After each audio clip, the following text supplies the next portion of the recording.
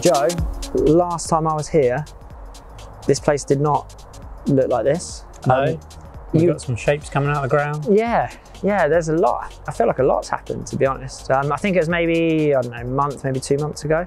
I was last here. Yeah, yeah, just after Christmas, early New Year. So, yeah. And you were digging what, to be honest, just looked like a trench really down there. So um, if you didn't sort of see your visuals, it maybe would have been hard to visualise sort of what's happening. But now we've got walls down there, the structure of the pool is in.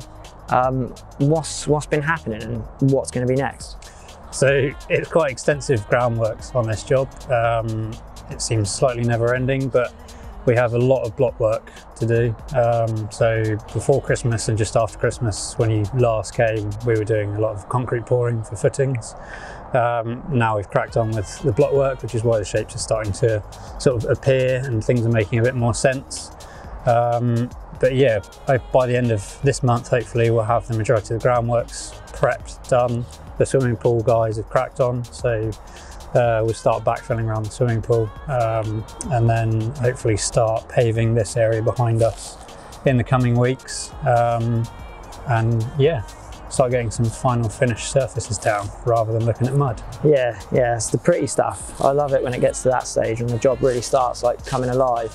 And um, yeah, so we've got uh, delivery of some of the paving coming in to you probably later this week um, to start shaping up this area.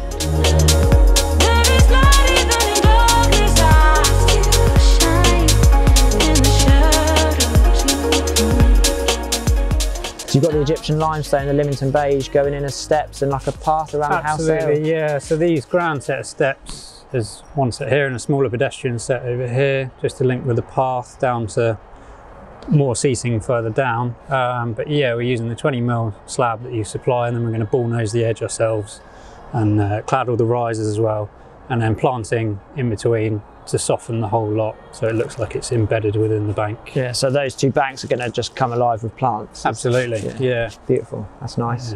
And then um yeah, so we've got some of the drone footage of focused on this circular area that you've prepped the ground for. Um, what material is going to be the surface material there? And that's a seating area on your visual. Yeah, so it's a small seating area that we've used the Egyptian limestone pavers, so exactly the same material but in a smaller format. That we're going to do a radial circle around the edge, um, and all the paths around here are edged with those. And the paths themselves are going to be gravel, um, but that circle will be laid to the 6x9 um, units as well, cut within it Ah, okay, um, nice. Provide a nice hard standing for furniture. And then again, that entire area and that circle is encompassed with planting. Um, lots of perennials, grasses.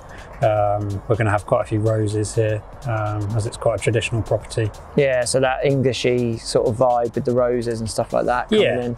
Yeah, but we're a little way off that. Yeah, yeah, yeah. We'll think about that a bit later.